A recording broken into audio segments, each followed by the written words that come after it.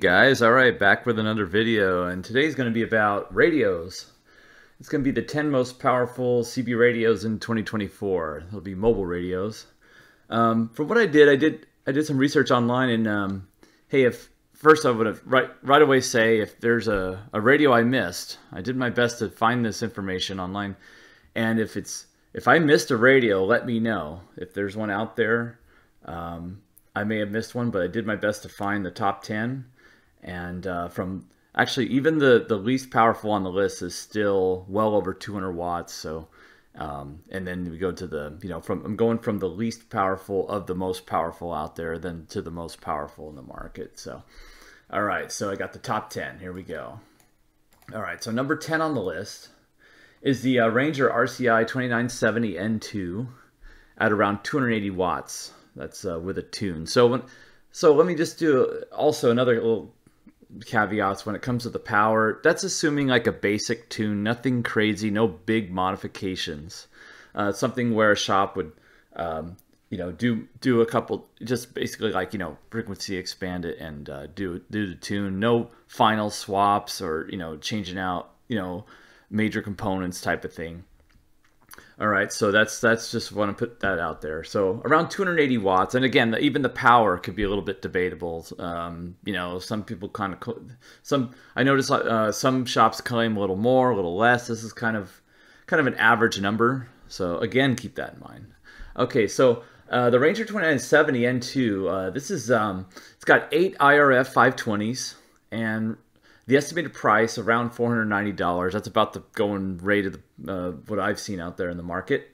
So um, and um, it's so right away I'll say with the 2970s they're really good um, radios if you're a sidebander like that's majority of what you use is sideband and or if you're into you know ham radio operator you want a 10 meter uh, ham radio. This is really of all the radios on the list here the 2970 is going to be the only one really that's a true I say ham radio that's also a CB, where the others to me are really CBs that can do ham radio. I'll, just, I'll cover that a little more in the next few slides. So, all right, next one on the list here is also a 2970. There's the N3 version. So it's the same, basically the same radio, but with uh, different finals. In this case, there's eight RT1s. These are Ranger proprietary transistors. So at around 380 watts.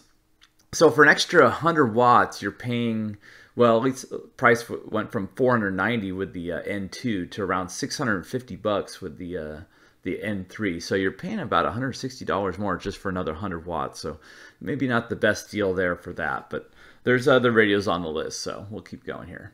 All right, so number eight on the list is the Ranger Superstar SS148 Pro at around 450 watts. It has eight RT3 transistors for finals, uh, Ranger proprietary finals. Uh, estimated price around 600 bucks. That's what I've been seeing. Uh, this is a, the only one on the list that's AM only. So hey, if you're if you're an AM only user, you have no interest in sideband, you never use it, you don't care. This radio might be for you. Actually, towards the end of the video, I have a uh, cost price per watt comparison. And this one is actually one of the better radios when it comes to the dollars per watt. So, which it makes sense. It doesn't need to have sideband, so obviously there's cost savings there. Um, so yeah, if you're an AM only user, this this might be a good radio for you. All right, so the next five radios, they're all around 500 watts. So yeah, so this could be number seven on the list as a, as we're working our way down, or even number three. So keep that in mind. It could be number seven, six, five, three, or four or three. So it's kind of a tie. They're close. So this is the Ranger Superstar SS158. Uh, it has for the uh, 2879s as final. So they're RT28s in the Ranger world, but they're really just HG 2879s. Uh, estimated price around 750 bucks. So it's getting up there in price. So although you think about it, okay, so keep this in mind. $750 is a lot of money for a, say, CB radio. But if you were to buy a separate four pill amplifier, you know, a 42879 amp, especially one with, say, sideband biasing or with a one driver, you know, like one drive and four, you know, the prices get up there probably close 600 $650 nowadays for an amp like that. So if you're buying a radio separately and a separate amplifier separately, you know, the price would be more. So you're actually for 750, in, you're basically getting like a four pill um, built in. Now, granted, it does a little less power, 500 watts, but but um, uh, still, just keep that in mind. Price, you know, you're you're getting an amplifier with it, so it's actually it's actually cheaper uh, to have an all-in-one radio than it is to have a separate radio and a separate amplifier. All right, next on the list is the uh, and the next you know these five are in no particular order. Also around 500 watts is the RCI 2970 N4. So of all the 2970s, this one's the most powerful in the market. Uh, also has four 2879s, price around $800. So if you're interested in like the RCI, the 2970 series, uh, this is this is the most powerful version of, of the three on the list here. All right, next on the list is the RCI 99N4. So also with 42879s, also around $800. So this, you know, it's interesting. This is more like, say, this is more of a form fa factor like a CB radio, where the 2970 is more like a ham radio, or more sideband friendly, I'd say also.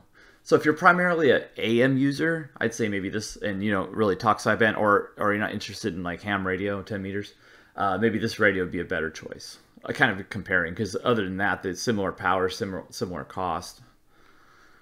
All right, next on the list is the Ranger RCI 69 FFB4 at around $840. Uh, it also has uh, for the HG 2079s, also around 500 watts with a tune. So now what's interesting, there's three versions of this radio. So next on the list here is another it's, they look very similar. It's the RCI 69 FFB6. So there's a B4 and a B6. And the difference that I see, they're both around 500 watts. They have the same features. Uh, the price of the previous one there is 840. This one's 850. So a $10 difference in the price that I found. Uh, very close in price. Uh, but this one has different finals. Um, so this one had the 2879s where the uh, B6 has eight RT6s. So Ranger proprietary RT6s, eight of them instead of four 2879s. Also around 500 watts output. Now, you could say this radio is a little better and has one feature, has the SWR protection circuit um, transmit cutoff. So it'll actually cut off your transmit when you're, if you have a really bad SWR, like let's say a short in your coax, it'll actually stop the transmitter from transmitting. And that's kind of a nice feature. Actually, the next few radios have this feature. The rest of them, the previous ones I, I on the list there, don't have that feature. So I kind of like that feature. Uh, so, um, but there's another version of this radio. There's three of these. So th the reason why I wouldn't go with this is because there's now there's the C6, and the difference is it's around now. This is now we're now past those 500 watt radios. Now we're on number two on the list at 600 watts with a tune. So the difference is now these have the same final, the B6 and the C6, but the drivers are different. So the, the B6 does around 500 watts because it has uh, two IRF 520 drivers um, driving the uh, 8 RT6s, where this has two RT5 drivers driving the 8 RT6s. Gets a little more power out of it, around 600 watts. Price is still around $850. It also has the SWR protection circuit. So if you're interested in this type of radio, I would think that the C6 would be the one to get of these three vari you know, variants. All right, and number one on the list, the winner, is the Ranger Longhorn Superior N6. Does around 700 plus watts and uh, has six ERF 9530 finals Estimated price around $880. So not not cheap, getting up there in price, but is the winner. And I, I know some users out there that have these radios and they're getting 750, even 800 watts out of these uh, radios. So pretty impressive. So I'd say this, you know, I've seen it. It's not so. Um, this is it. This is the winner um, of the um, you know the most powerful radio you can get right now in 2024 as of uh, September of 2024. I'm make, making this video, and so keep that in mind also with the prices and what's available when you know you watch this video. All right, so the summary and like the cost per watt. Here's kind of a list here. Um, some takeaways. I think you know the uh, Superstar uh, 148 Pro is AM only, um, but at pretty good cost per watt. At a $1.33. Um, but the overall winner is the is the Longhorn actually uh, when it comes to the uh, cost per watt. Yes, it's the most expensive at 880, but it also because it does more power, you know, you're dividing it by you know the watts by the you know the cost, so it's a dollar 26, uh, um, you know, per watt, you know, per watt. So that's really the um, you know the old, overall winner there as well. So other takeaways. So voltage, you know, when it keep in mind when you when you feed your radio a different voltage, you're going to see different output power. Um, so this was assuming around 14 volts. Uh, so if you increase your voltage to your radio, you do get more output power, but probably not a good idea or recommended, you know, to put it right on the edge. You know, if you're running like 15, some people go you know 15 5 16 volts i don't really recommend that. I mean you're getting just a negligible difference in signal strength. It's probably not even measured hardly even seen on the other end. So i don't really recommend that. Um, some other things. Okay so the 2879 radios and this is where maybe i want some of your guys' feedback. I've seen some um, shops claiming you know 800 900 plus watts out of the 2879 radios like the if you had say four of the toshiba 2879s for finals of some of these radios. Now I want to know. I know from what I could tell, it looks like they require some some you know some significant modifications. It's not just a tune to get that kind of power out. So so I, I still think the Longhorn is you know the you know the radio you could just buy out of the box with a tune and it's doing this type of power. So just you know so but if you're going to have a contest you know and say who's you know which radio is the most powerful ever. Like if you're going to have a shootout, I, I would say probably a a more modified 2879 radio would probably still be the overall winner. Let's say you know, and all else is said, but but uh, you know, still I'll give it to the Longhorn because you know really it is out of the box like that. Um, some other things. Um, so again, I covered the SWR protection. I don't know if it's a big deal for some of you or some are not. If you're mobile, it's kind of nice. Um, if you're base station, you're always watching everything on your meter. You know, of course um, you know, it's less probably critical. Uh, also keep in mind, you know, some of the frequency ranges of these uh, radios, they go like 10, 11, 12 meters. You know, you, you don't have a built-in antenna tuner on any of these radios. So again, if you're in the ham radio, you know, you're kind of limited. In my experience, if you go on 10 meters, you know, you can go on, say, channels 1 through 40, and then the lower portion of 10 meter band, like up to maybe 28.5, and you'll still be, you know, within a 2 to 1 SWR or better. Um, but you can't go all the way down to 12 meters and all the way up, you know, to 10 meters, you know, on the same antenna. You'd have to get an antenna tuner or swap out uh, antennas. Uh, if you know you want that more frequency agility, you're better off going with a radio with a built-in antenna tuner, like a, uh, say an ICOM 7300 or something where it's built in. Or well, that's not even really a mobile radio, but but you get the point. Um, some other things. So 2970 has memory channels. It's the only one on the list that has memory channels. It's the only one that has split frequency, but it doesn't have a PL tone, so it doesn't really support true 10 meter FM repeaters. So that's kind of goofy to me that it doesn't have a PL tone, but it has the split frequency. So it's like it has one part of what's required for 10 meter repeater, but it doesn't have the second part, which is the requirement for a PL tone to get into the repeater. So I'm not sure about that. Why is that? As far as I know, I could be corrected I, if, unless the later versions, but I know the 2950s don't have PL tones. I didn't see anywhere in the uh, specs where it does it.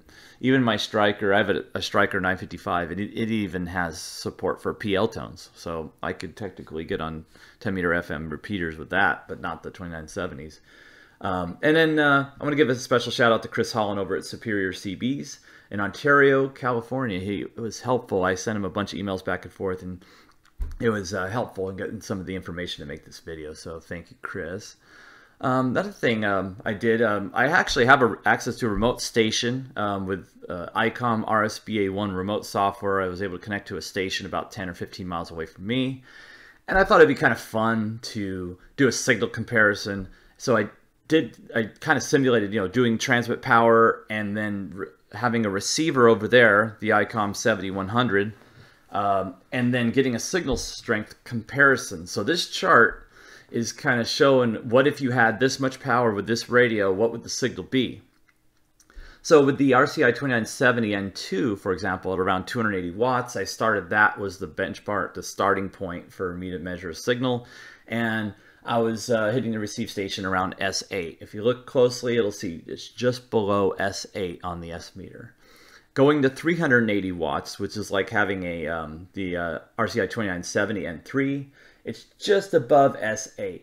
It's like S8 and a, I don't know, a fifth.